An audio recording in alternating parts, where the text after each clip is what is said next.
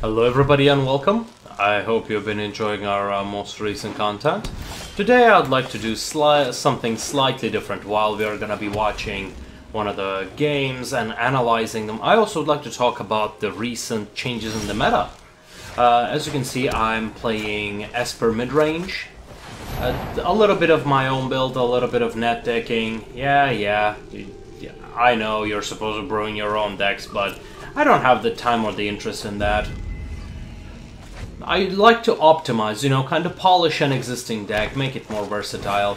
So now we are fighting against a, a mono green aggro from the looks of it, but it might change into Gruul really quickly. So for that, we're gonna put up a Thief of Sanity. I don't know why, but the game tends to 99% of the time provide a removal anytime I pull a Thief of Sanity, even if opponent did not have it. They always top deck that.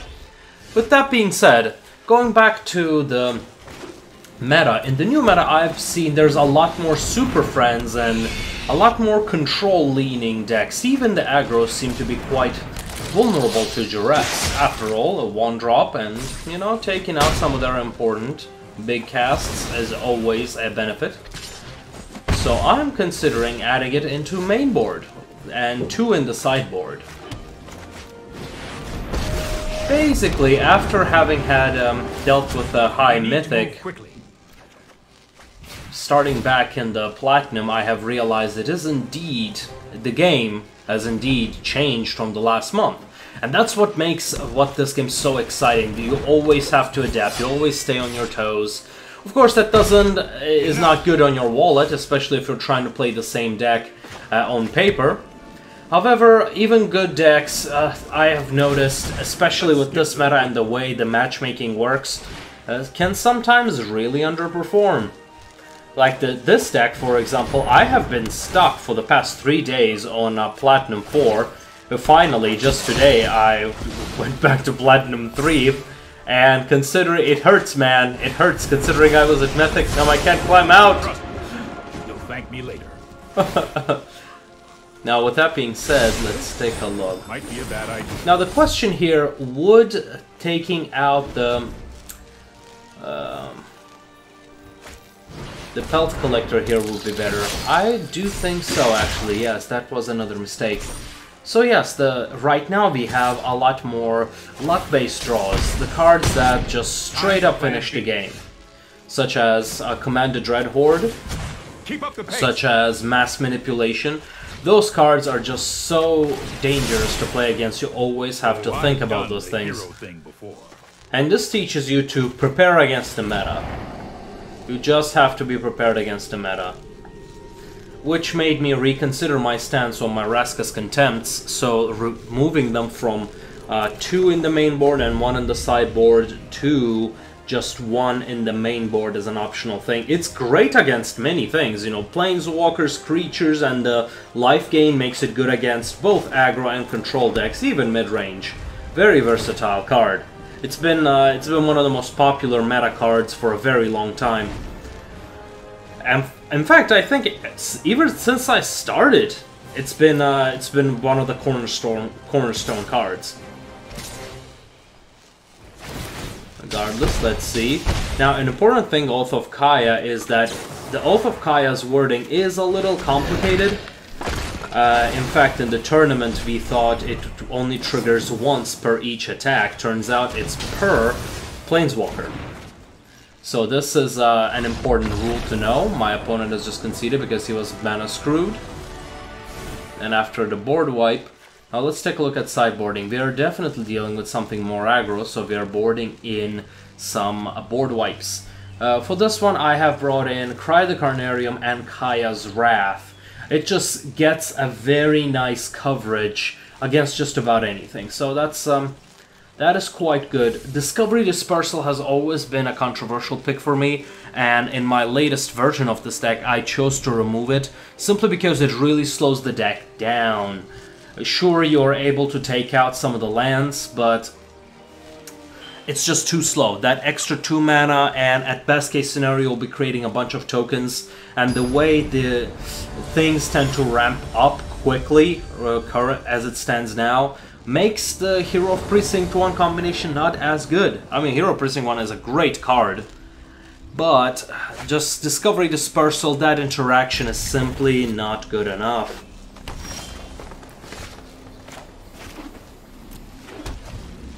So let's take a look.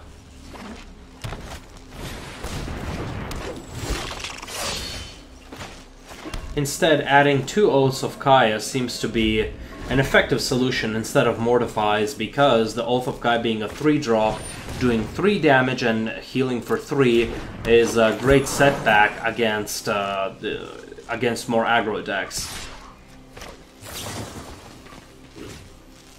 Let's remove the... Uh,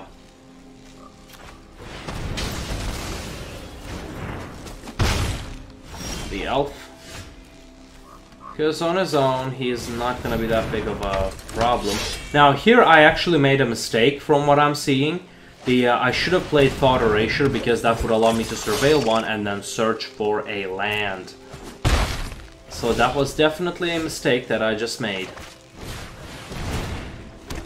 My opponent is, however, is also mana screwed. Uh, we are taking a look on what he has. Ripjaw Raptor, uh, Krasis, Difficult choice, difficult choice indeed. We got Lyra, but we require a land. Lyra is a great sideboard piece against aggro decks. There's no way that it can be killed once and my opponent is playing something janky as, I've, as far as I can see. I'm gonna take the 4.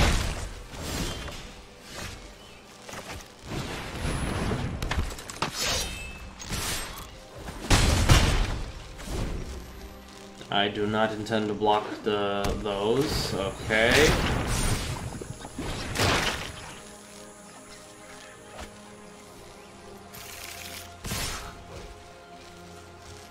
Uh, receiving six. Yep, the taking out of this one is important. Ah, there.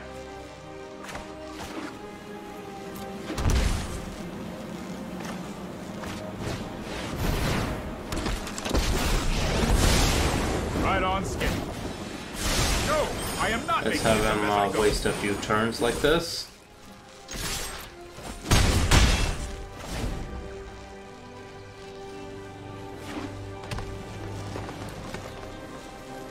Mm-hmm. This is a decent move, but I think it was a mistake not to use that Thought Erasure earlier.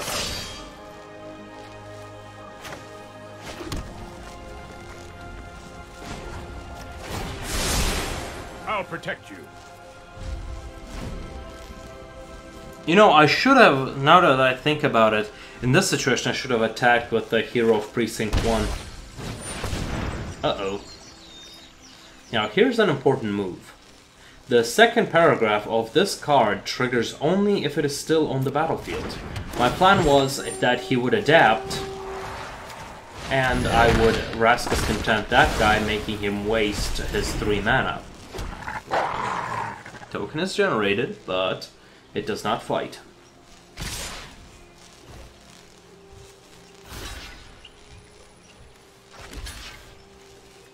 I think in this case it might have been... Uh, oh, yeah. Yeah, I think this is indeed the best play.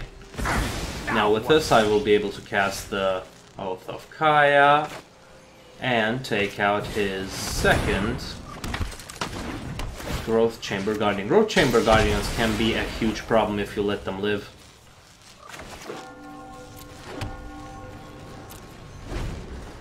Now, having multiple copies of Oath of Kaya is not a very good thing, obviously, because it is a legendary enchantment.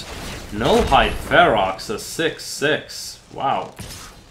Okay, three in the air. That is a problem.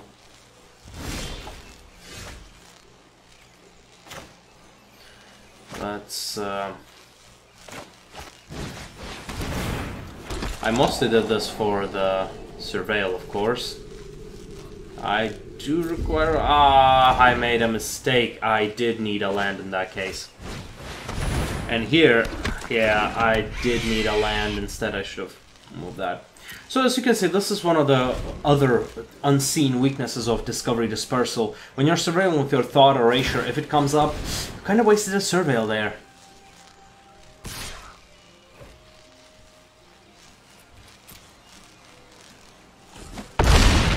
Now that artifact definitely gonna do a lot of work here.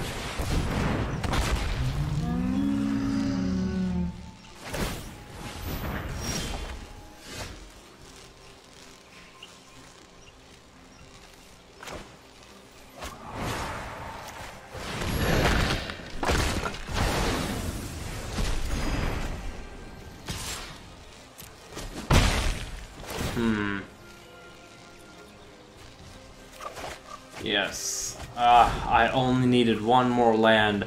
See, this now that I'm seeing the Discovery Dispersal was the one small card that actually lost me the game. How fascinating. How fascinating indeed. Especially in today's formats when it, the games are so fast. In a single turn, as soon as opponent reaches 6 mana, you, they are able to cast, like for Simic, they are able to cast the Mass Manipulation, and for uh, Sultai they're able to cast Command the Dreadhorde, at which point the game is basically over. I really don't like those cards that just suddenly put you so far ahead it's impossible to recover without something like, I don't know, a board wipe.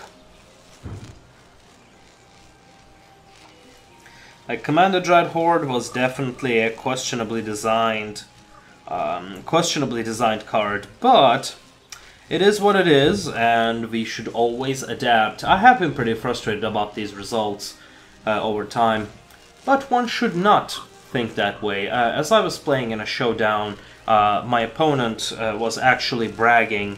Um, well, before I had matched him, it was a three-round showdown. In the first round we played, I won. Uh, because uh, my opponent was it was a mirror match, but my opponent did not know how to sideboard against me. Um, in the second one, I played against an opponent who was bragging a little earlier how he was uh, undefeated for a very long time and he would win the tournament. The prize for the tournament was an entire box.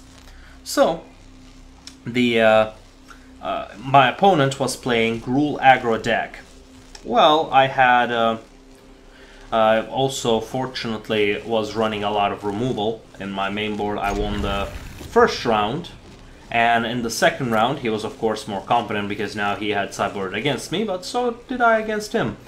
Um, he had not, unfortunately, he had not drawn the right cards. Um, he missed a land drop for once, and I had the removal against his um, uh, druid. Uh, so, that has resulted in him losing on the second round 2-0, breaking his streak. Now, of course, he was really frustrated about that, and that reminded me something that I should have had reminded myself, and I'm reminding you now, is that this game is all about averages. It's not about a single match, it's not about a single round, even though very small mistakes can culminate into wins or losses.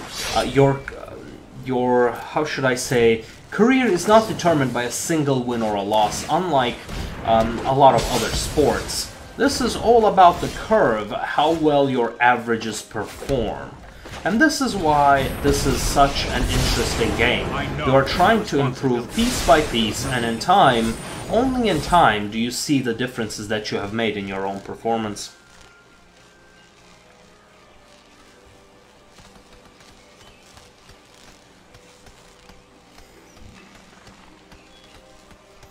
So it looks like my opponent is also stuck at two lands.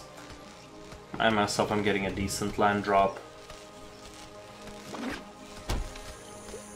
Of course, I should also mention while we're at it, uh, when you see that your opponent is struggling in his land drops, you need to remember that they oftentimes have a lot of um, uh, a lot of cards that are castable in their hand. As such, you need to prevent them from ramping and getting access to additional mana, that way you're able to basically purchase extra turns. We're saving our Tyrant Scorn. Because if he attacks me, I will let it, I'm gonna take it, but since he attacked the fairy, I do not want that. And so we destroy the Steel Leaf Champion. Vine Mare, that is a big problem. That's more like it.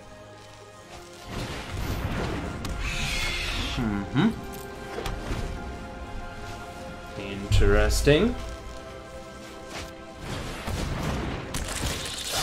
Ah, removal, the Kraul Harpooner.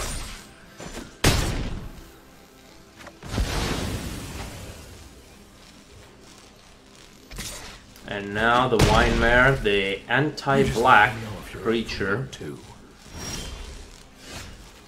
Ah, and I keep pulling the uh, Basilica Bell-Haunt.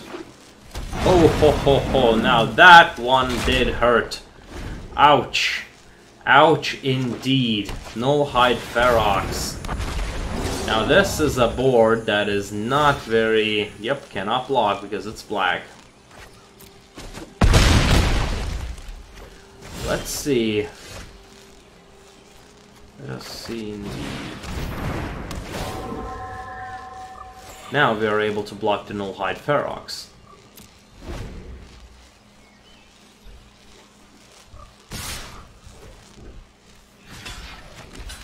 While only sacrificing a single creature.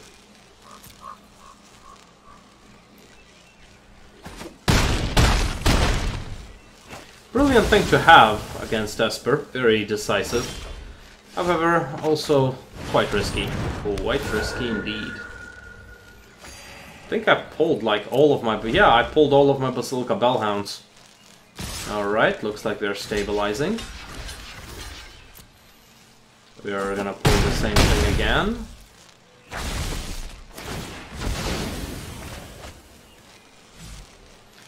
Let's see if we can draw something that can block. And yes, it did. It did block indeed. So what we're gonna do, since the Vine Mare is a 5-3 creature, we require 3 attack power to stop that thing.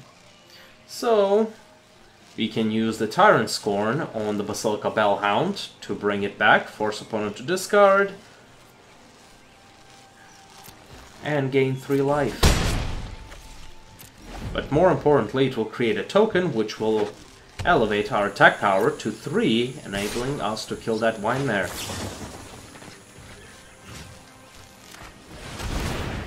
It did look dire about two turns ago, but how quickly the tide turns. Uh, well, this may seem like a mistake. The goal here is to buy some time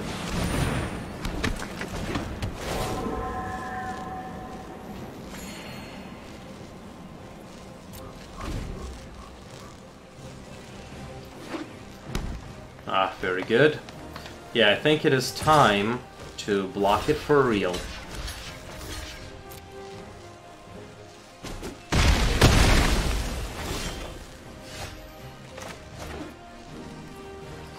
More land. Let's get some health up and put a bigger clock on our opponent. Let's see, another land. Unfortunate for my opponent. And very fortunate for me. Eight. Eight to eight. I am not going to sit this one out. We're gonna do a little bouncing action.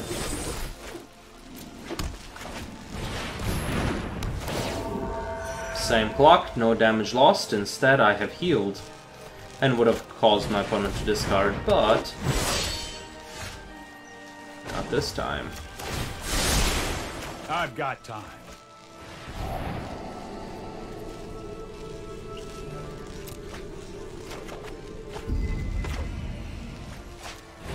And Hero Precinct 1 goes down. I mean, I think um, Discovery Dispersal was good before the uh, these uh, Command, the Dreadhorde, and the Mass Manipulation decks have became the main thing. Now the speed is essential. And so that was Victory. Thank you for joining me. I hope you enjoyed uh, listening to my thoughts on the latest meta, and we'll see you next time.